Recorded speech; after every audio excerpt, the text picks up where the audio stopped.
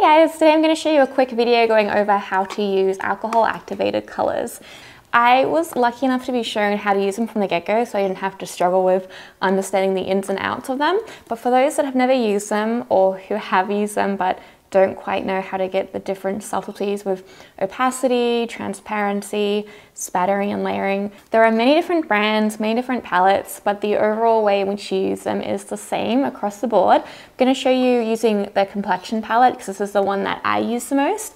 And there's a good range of colors that are transparent and opaque in here to show you the differences. I use alcohol paints a lot because they can paint over pretty much anything.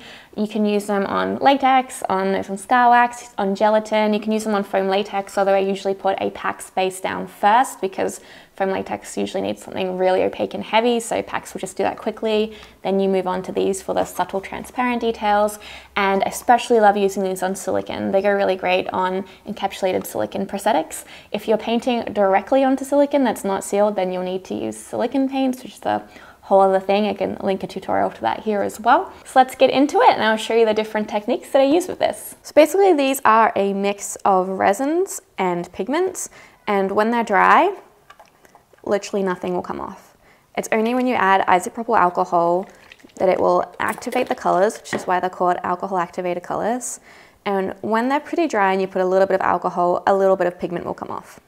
If you want them to be really concentrated, there's a couple of ways you can do that. If you absolutely drench one of the cells of alcohol and you let it sit maybe for five minutes, it will start to get deeper into the pigment and then you'll get a really thick, gluggy, opaque mess. So it can be a little bit challenging in that you can have like a light amount of color, come back later and dip it in and have a really thick, heavy amount of color. It won't be consistent. So I would always recommend when you're using alcohol paints to go from a cell into either the lid or into something like this white piece of paper so you can clearly see the colors that's coming out, how much pigmentation you have before putting it onto the person that you're painting.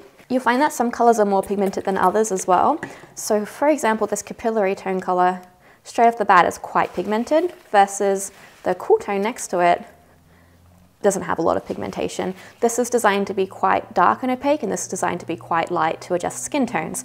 So the transparent colors are going to be your friends for skin tones. Lots of nice transparent layers are how you get nice skin tone pigmentation. And then for doing inside wounds, for doing dark capillaries, obviously you want the darker colors. If you have a dark color that you want to be a light color, all that you have to do is mix it in with some isopropyl alcohol. So you can do this in a lid. You grab a little bit of color, mix it into the isopropyl alcohol, and then you have a lighter color. If you have a lighter color and you want it to be darker, saturate it with alcohol, grab your brush, and literally just keep swirling the brush to get all the pigments into the bristles.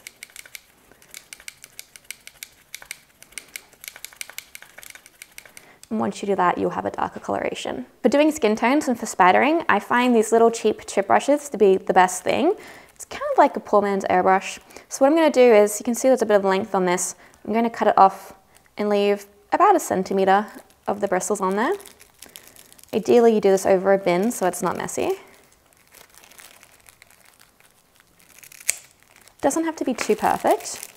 And then what you do with this is, say if I wanted to do some pink to adjust skin tones, I'm gonna do it a bit more pigmented than I normally would, just so you can see it on the paper.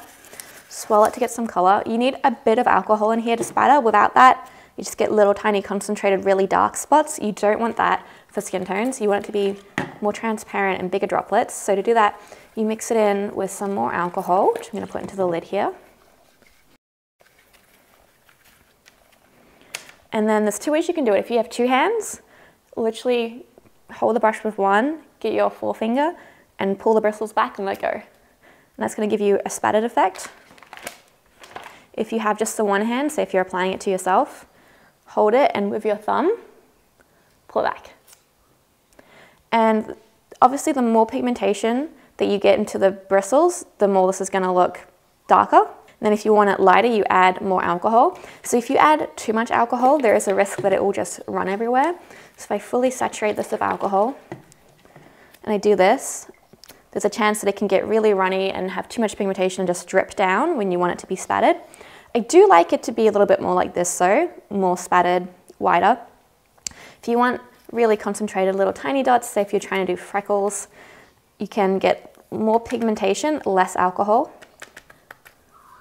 And then something like that, you'll get like tighter, smaller, more concentrated dots. It's always important to clean your brush in between as well so you don't get muddy colors. The distance between the paper and your brush also makes a difference. So if you're trying to go over a wider area, I would get more alcohol. Hold your brush further away. You can see how far that is on here. And then when you spatter, you'll get quite a large amount of distance. Um, I've made it quite concentrated here so you can see it. I wouldn't usually go this dark while spattering. And just like again, from afar, you get a big area covered. And you can just keep going like that and you get the speckling. Then if you wanted to do a more concentrated area, so if I wanted just a little bit of color here,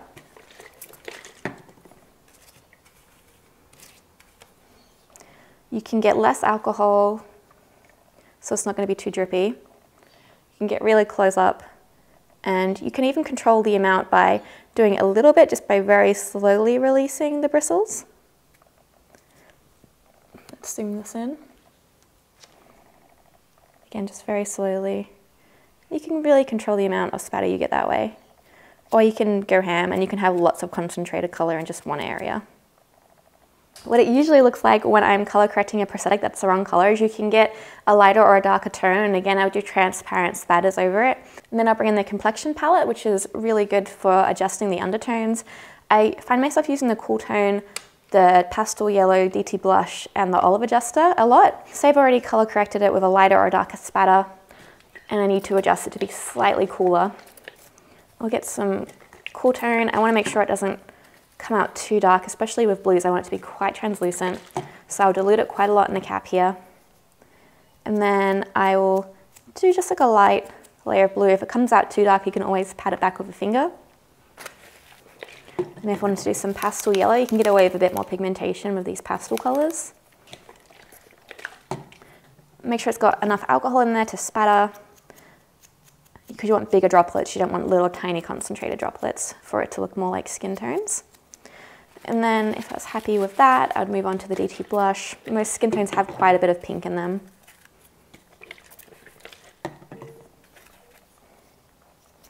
In spite of that. That'd probably be too dark. You can see on here it's probably going to be too dark already. So just get that more alcoholed out. So you get a lighter spatter and that will just give you this nice breakup of color on top of prosthetics. And then if I were doing a wound and I wanted to be a bit more bloody or pink on the inside, come into these colors to get a more concentrated wash, swirl the brush in there quite a bit, and then you can use that to paint on the inside. I also like these fluffy watercolor brushes as well. They can be quite nice for breaking up the skin, especially if you want to do that little mottling that skin has. So again, I'm gonna make this a little bit lighter. Then you can bring that onto the skin and just use those broken up bristles to create a broken up effect on the skin. And on the white paper, it looks like this. But obviously you want it to be a bit more translucent than that. Just to show you again with the spattering, get some alcohol in there. This is it close up with just a little bit. You can really control how much you get out. Further away, you can get a little bit or you can go ham. It's like a medium distance and if you wanted to get further and further away, zoom out here, you can get more alcohol on it. You can just get really big droplets quite quick using this technique. This is obviously quite concentrated if I wanted it to be a really subtle color. I'll zoom in again. It'll look like this.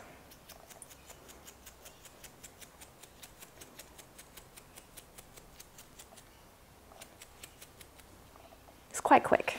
Thanks for watching you guys. If you have any other ideas for back to basic little quick videos that you'd like me to film, just gaps in the knowledge or things that you can't find on YouTube, let me know in the comments. I really like the idea of having little bits and pieces in between the bigger characters. It also means I can upload more frequently. Um, and just, yeah, things that are simple, but maybe people don't know how to do it or how to use different materials, whatever it is. I will be back soon. I hope you have a great day.